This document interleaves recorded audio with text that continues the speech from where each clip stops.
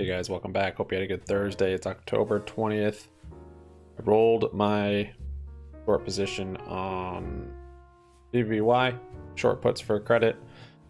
Um, bought more GME shares today and closed out some stuff for profit. Sub up, like up, comment down. Happy Money sticks around. We're gonna look at those things. You should look at my Twitter and follow me on there at Happy Money YT and our Discord server. Should join that too. Link for those are in the description. Um, SPY was rallying this morning pretty nicely, and then just just got weak, broke some resistances, and then just started dumping. Um, I should have closed my futures up here; they were profitable, but I'm not really planning on closing them until uh, I think this bear market rally is done, and think it's really started. That being said, um, we have the bullish divergences here and here, and then also on the weekly. But on the daily here, we actually have a bearish divergence that has now been confirmed from yesterday. We've got a high here and a higher high over here. But then the RSI, this is a lower high than this one. So this is coming down, this is going up. Um, so one one win for the Bears on that TA, but uh, with the bullish MACD, with this other divergence, with this big engulfing candle. I'm still bullish on it. I was kind of expecting, if you watched yesterday's video, um, flat to red today and tomorrow on the market, as well as GME. Um, just being the first week of SLD and the options expiring uh, tomorrow. So after tomorrow, should free up a lot of capital. Market should be able to rip one way or the other. And that's oftentimes when we see GME have its rally is the week after options expiration, otherwise known as OPEX. Um, so I think it is still still bullish, and where it closes end of the week on SPY, I'm not too sure, but uh, might might be down a little bit from here. Um, thing is, there's such a big range, so for it to confirm a down move, we'd have to break down. I mean, I'd, I'd want to see it below at least 356. And by the time it's down there, my long positions are pretty bad on the futures, so should have gotten out of it to reposition, but oh well. Um, keep holding through. Uh, BBY today, not a whole lot on that. GME did have, it was pretty flat today while SPY dumped, and while SPY rallied actually. SPY had this huge rally and GME was just chilling. And then about 11.15, he got a big volume spike and it started ripping and then got shut down. Um, it just, yeah, it seemed like a lot of pressure was building up because SPY was ripping and GME was just chilling. I think it just released a little pressure there, a little valve release of uh, internalization or whatever, just buying pressure that's not being realized. Um, so I, th I, think we're gonna, I think this is, we're gonna start seeing this next week more. Um, I did get more shares on this account and I also rolled over some positions. So actually today, GME just touched the bottom of this wedge perfectly. Um, it's got about 30 minutes to close, so I guess it could come below it still. But at this point, it's basically wicked right down to the bottom of that uh, wedge.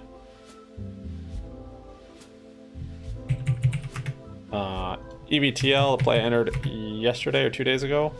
Two days ago uh, call credit spreads, which is a, I said debit spreads, I meant to say call credit spreads. The short position, I closed that out today, like 75% gains on it, um, which was nice. I guess I, I maybe could have played it differently, but I like credit spreads. And the 70% gain or whatever is plenty good. My Kodak, remember I wanted to get into Kodak yesterday or two days ago, but never got filled. I guess it kind of settled down a little bit. I ended up getting into it today, kind of at the high. Yeah, kind of like here. Um, but that's okay. I think it'll have a continued rally with the market. Uh, has earnings in November. This chart looks pretty bullish to me. So, um, jumped into that. Just show you guys the moves. Uh, I got bullish play on Netflix 320, 330.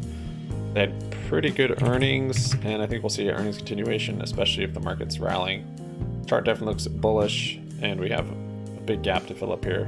Gaps are typically filled. 333 is the top of that gap. I'm giving it a month to get up there. Um, could happen sooner, might not happen at all, might happen later. I'm not sure, but we've got green over the nine moving average, bullish MACD, uh, big volume from that earnings, of course. So uh, it's it's all looking good here. And then the Kodak play, I got five dollar calls, and then my EVTL I closed for a nice little profit. Oh, and then today is that today? Oh no, yesterday. Remember I said I was opening up AMD. Uh, has a high beta. Uh, I was up today. This thing actually moved quite a bit. It was up 50% at some point today. uh, I'm not planning on closing it. I want that play to. I want to fully see this bear market rally. So I think that'll um, fill this gap at least 67, and I'm hopeful that we'll fill that 83 gap up there on AMD. Um, I have a lot of the indicators looking bullish on it to me. Um, and then, oh yeah, so my BBY short puts, um, I'm having a roll. They're expiring tomorrow, but I just rolled them today. Uh, you can't always predict if a stock's gonna go up or down, but 100% certainty a stock always goes to the right. So that's why I like theta farming because when a stock goes to the right, you can make money just by letting it go to the right. As it goes to the right, you make money, and that's always a certainty. So that's where we sell premium, and we're insurance providers basically for the stock market. Um, and let me show you. So here's my BBY put. Um, what's cool about this short puts, it works similar to shares and a call credits or covered calls. Um, I kind of like it better, the short puts though. I feel like there's less risk. Um, yeah, I think there is less risk. Anyways, um, yeah, so this was a nine uh, short put. Basically, I sold puts at nine strike that were expiring tomorrow. Those are in the money, so if I left them, I would have um, those shares, 100 shares per contract for $9 a share on BBY, which of course I don't want right now because BBY is at 4.99. Um, so I rolled them. I bought to close those and I sold to open uh, an eight strike put and the expiration on these is January. So I had to roll it out to January to be able to receive a credit still. Um, I think I received, I think I got like $250 in credit, not a whole lot. Um, but I was able to roll down a whole dollar. And uh, so yeah, that was basically the soonest time I could roll it down.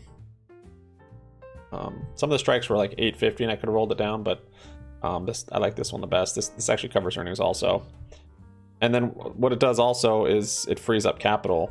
So before this play was tying up, you know, for one one contract at a nine strike, it's tying up $900 of, you know, my capital. So if I roll it down to an eight strike, and it's only tying up 800 so i have another $100 i can use so i freed up like four grand or something by rolling this down one dollar because i have 60 of these.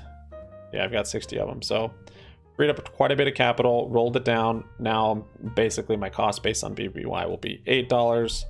Um, if it rallies before january which i think it probably will um, i can roll it back to a closer date and up. So uh, say if it fills this gap up here at 1150, uh, I could this this put will lose a lot of value, and I'll be able to close it and open up another one that's closer in time and higher strike. So that's kind of my plan with it at this point. Um, yeah, and then today I also opened uh, 24 and a half short put on GME just for tomorrow. Received 123 in credit for that. This I was actually able to do this because of the capital I freed up from the BBY short puts. So I opened up three of these, and I still have the 25 short puts on here that expire tomorrow. And then the shares I got on here. Yeah, so basically tomorrow for all my uh, theta farming plays to work on GME, I need it above 25 and a half because um, I do have this one put credit spread on here. It's 25 and a half. But uh, yeah, it's not a big deal. If it doesn't, I will I'll roll this one over because I I'm bullish on GME for the next next week or so. Um, so yeah, November four thirty calls. These lost in value today, but that's okay. And yeah, not a whole lot else. Hopefully, uh, market doesn't go too crazy down tomorrow. Bonds really are pulling down the market today. I think um, they're just getting wrecked. It does still look bearish. We've got kind of a bear flag here on the hourly. It's possible, I guess it fills that gap. Um, yeah. Just got to hold through it. Thanks for watching, guys. We'll see you on Discord. Peace out.